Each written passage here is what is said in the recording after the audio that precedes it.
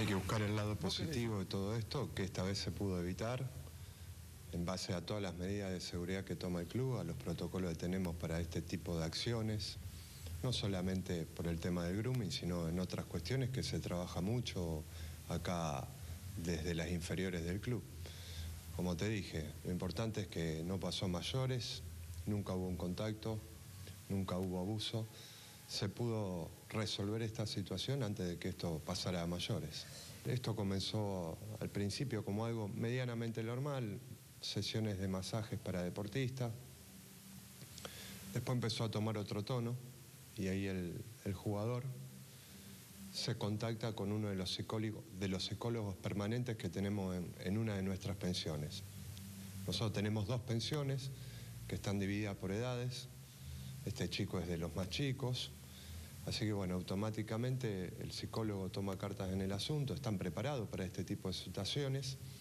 Ahí se separa el chico y directamente sigue el contacto el psicólogo haciéndose pasar por, por el jugador.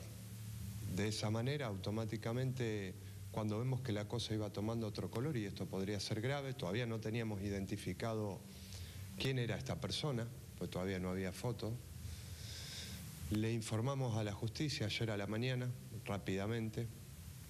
De esa manera se armó un operativo sorpresa, un operativo engaño y ayer por la tarde dio su fruto y esta persona quedó detenida automáticamente cuando fue al encuentro con el supuesto jugador que era nuestro psicólogo. El árbitro tenía residencia en Escobar, pero aparentemente se había venido a vivir a Rosario, donde hay muchos clubes de fútbol profesional, Newell, Rosario Central, Colón, Unión, pero hay también muchísimos clubes en la ciudad de los alrededores, es decir, vino a un lugar donde hay muchos chicos, que es justamente el objetivo de él.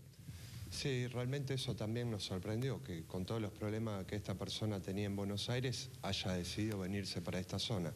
Como vos muy bien decís, es una zona donde hay muchos clubes de fútbol, muchos torneos.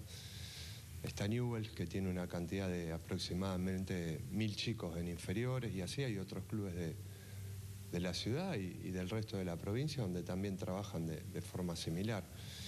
Obviamente ha visto un contexto que le favorecía para lo que él quería hacer. Pero bueno, se encontró con una institución que realmente está preparada para este tipo de situaciones y para otras situaciones más. En Newell's All Boys no solamente tratamos de formar deportistas, sino que también tratamos de formar a nuestros jugadores como personas, para que también los ayude a formarse como deportistas y puedan tener más éxito. Algunos, algunos no van a llegar y por eso también es tan importante la educación y la formación que se le den a estos chicos mientras están acá en la institución.